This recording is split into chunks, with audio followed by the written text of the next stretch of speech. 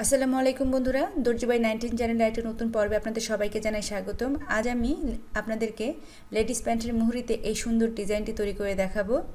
তাই ভিডিওটি সম্পূর্ণ দেখার অনুরোধ নিয়ে শুরু করছি আমার আজকের পর্ব। আসুন তাহলে বন্ধুরা, শুরু করা যাক।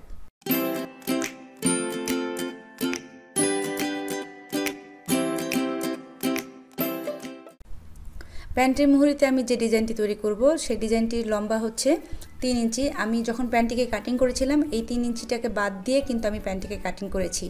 এখন এই প্যান্টের মুহুরিতে আমি যে ডিজাইনটি তৈরি করব, তার জন্য আমার কিছু চিকন ফিতার প্রয়োজন হবে। আর এই ফিতাটি তৈরি করার জন্য আমি দুই ইঞ্চি চওড়া করে কিছু লম্বা কাপড় কেটে নিয়েছি। এবার আমি এই লম্বা কাপড়টিকে ফিতা তৈরি করে আপনাদের এই মুহুরিতে লাগিয়ে দেখাবো। এখানে আমি কিছু ফিতা তৈরি করে নিয়েছি, চিকন করে।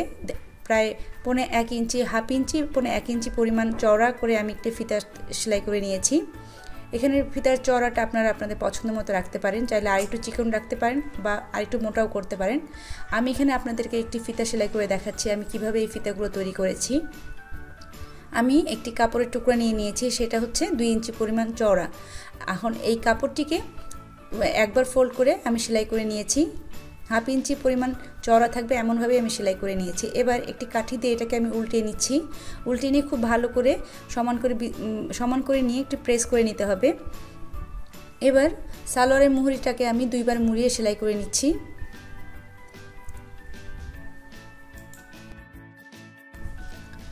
এবার আমি সালোয়ারের মুহুরিতে কিছু দাগ কেটে নেব। এই দাগগুলো হচ্ছে আমি কতটুকু জায়গা পর পর ফিতাগুলো বসাবো সে সেটা নির্দেশ করবে। আমি এখানে দুই ইঞ্চি পরিমাণ জায়গা জায়গা গ্যাপ রেখে রেখে ফিতাগুলোকে বসাবো, তাই দুই ইঞ্চি পর পর আমি দাগ কেটে নিচ্ছি। সম্পূর্ণ মুহুরিতে দুই ইঞ্চি পর কেটে নেওয়া হয়ে গেলে আমি আরেকটি কাপড়ের টুকটুকরোতে দাগ দিয়ে নেব। আর এই কাপড়টি আমি নিয়েছি প্রায় দুই ইঞ্চি পরিমাণ চওড়া একটি কাপড়।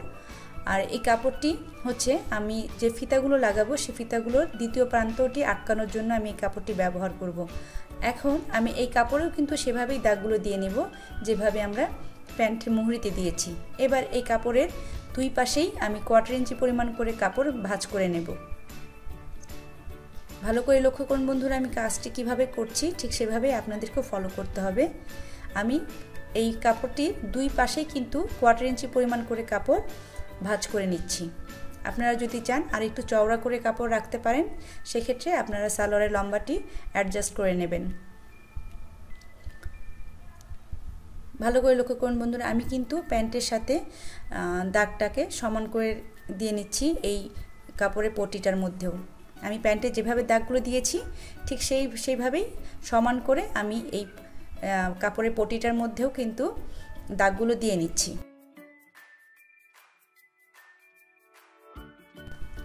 আমি যে কাপড়ের ফিতাগুলো তৈরি করে রেখেছিলাম, ডিজাইন তৈরি করার জন্য, সেই ফিতাগুলোকে আমি এখন কেটে নিচ্ছি তিন ইঞ্চি লম্বা পরিমাণ করে। আর সম্পূর্ণ যতগুলো আমি ফিতা তৈরি করেছি সবগুলো ফিতাকেই আমি এভাবে তিন ইঞ্চি করে কেটে নিচ্ছি।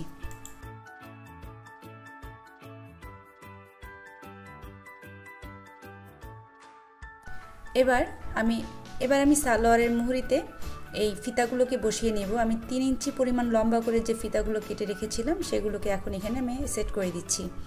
আর এর জন্য আমি কিন্তু সালোয়ারটিকে সোজা পাশে রেখেছি। এবার প্যান্টের মুহুরির নিচে আমি প্রত্যেকটি ফিতাকে রেখে দেব। তবে ফিতাটি রাখার সিস্টেমটি হচ্ছে একটু বাঁকা করে রাখতে হবে। অর্থাৎ একটি যে পাশে বাঁকা করবেন, দ্বিতীয়টি ঠিক তার অপোজিট সাইডে বাঁকা করে দেবেন। এভাবেই প্রত্যেকটি ফিতাকে আমি ডিজাইন করে বসিয়ে নেব। এটি মুহুরির এক সাইডে আমি তৈরি করছি আর এভাবেই প্রত্যেকটি ফিতাকে ক্রস চিহ্নর মতো করে বসিয়ে নিতে হবে।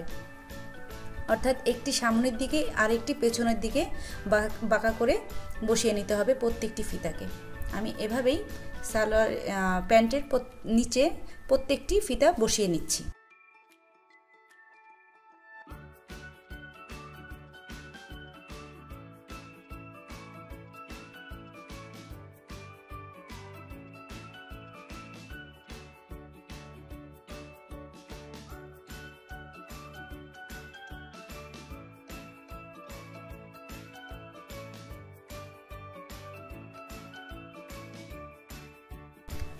দর্শক, আপনাদের নিশ্চয় খেয়াল আছে, আমি একটি কাপড়ের টুকরো নিয়ে নিয়েছিলাম। যে কাপড়টির দুই সাইডে কোয়ার্টার ইঞ্চি পরিমাণ করে কাপড় আমি মুড়িয়ে রেখেছিলাম। এখন সে কাপড়ের পট্টিটার মাঝখানে আমি এই ডিজাইনের ফিতাগুলোকে প্রবেশ করিয়ে আমি কাপড়টিকে সেলাই করে নিচ্ছি। এই ক্ষেত্রে আপনারা কিন্তু একসাথে কাজটি করতে পারেন। আবার ওপরের যে পট্টিটা রয়েছে, সেটাকে সরিয়ে নিয়ে শুধু নিচের কাপড়ের সাথে এই ক্রস চিহ্ন ডিজাইনটি আগে আটকে নিতে পারেন, তারপর ওপরের কাপড়টিকে বসিয়ে সেলাই করে নিতে পারেন। আমি এখানে একবারই কাজটিকে করছি। খেয়াল রাখতে হবে, শুরুটা যতটুকু চওড়া নিয়ে করছেন, ঠিক ততটুকু চওড়া নিয়েই যেন শেষটা হয়।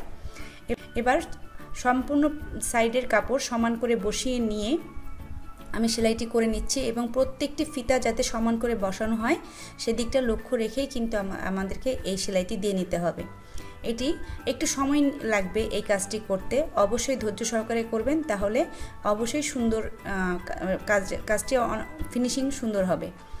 আমি এখানে দেখিয়ে দিচ্ছি যেভাবে, ঠিক সেভাবেই আপনাদেরকে কাজটি করে নিতে হবে। আসলে সব কিছু বলে বোঝানোর মতো নেই। দেখে অনেক সময় অনেক কিছু বুঝে নিতে হয়। আমি এখানে যেভাবে করছি, ঠিক সেভাবে আপনাদেরকে কাজটি করে নিতে হবে।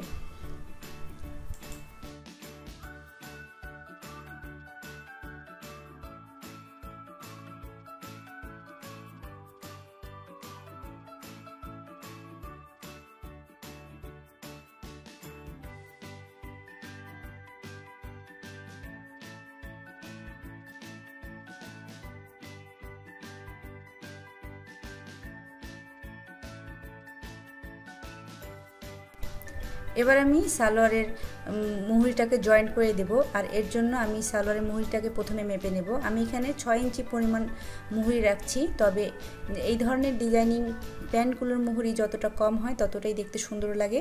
আমি এখানে ছয় ইঞ্চি দিচ্ছি, আপনারা যদি চান সাড়ে পাঁচ ইঞ্চি পর্যন্ত রাখতে পারেন কিংবা পাঁচ ইঞ্চি পর্যন্ত রাখা রাখা যেতে পারে। আমি এখানে ছয় ইঞ্চি দিচ্ছি। তবে এই ধরনের ডিজাইনিং প্যান্টগুলোর মুহুরি কম হলেই দেখতে সুন্দর হয়। আমি এখানে মুহুরিটা সেলাই করে নিলাম। আমার আজকের ডিজাইন প্যান্টের ডিজাইন তৈরি করা হয়ে গেছে। আশা করি আমার আজকের ভিডিওটি আপনাদের ভালো লেগেছে। যদি ভালো লেগে থাকে তাহলে অবশ্যই ভিডিওতে একটি লাইক দিয়ে দেবেন। সে সাথে সেলাই কাজে আগ্রহী বন্ধুবান্ধবের মাঝে আমার ভিডিওগুলোকে শেয়ার করে দেবেন।